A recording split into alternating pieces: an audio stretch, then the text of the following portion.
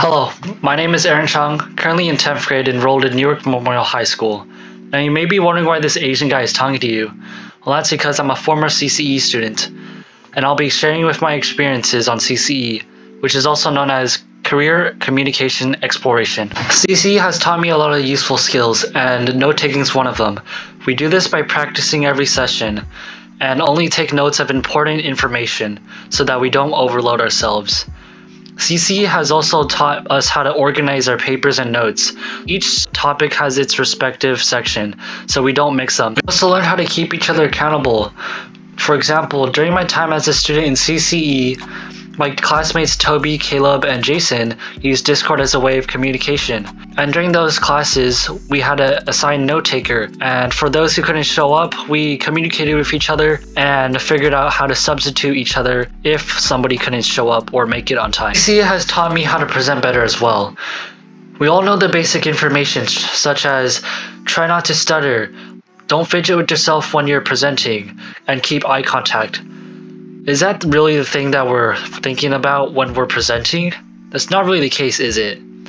Well, in CCE, they give us a lot of presentations to really just hammer down those skills to, into use, and it just becomes a habit in the end. I've been talking about a lot of good stuff about CCE, but you may be wondering how I've applied it in my life so far.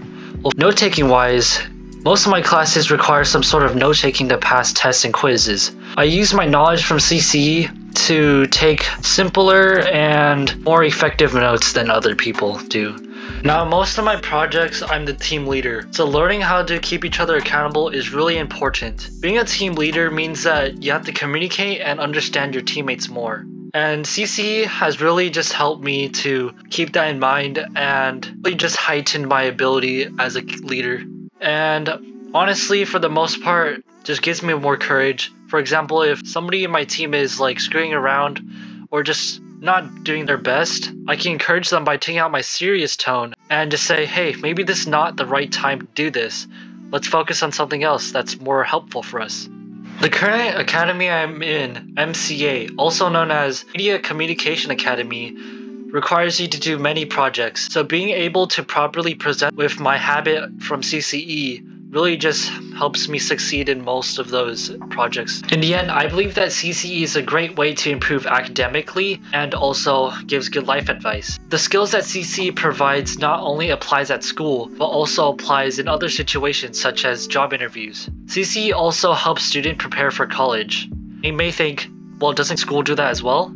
Well, yes, but schools, in my opinion, don't really give as much thorough information as CCE does.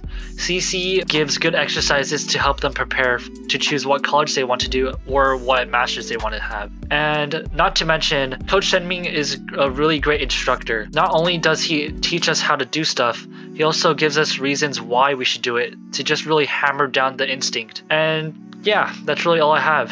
Thanks for having me. Goodbye.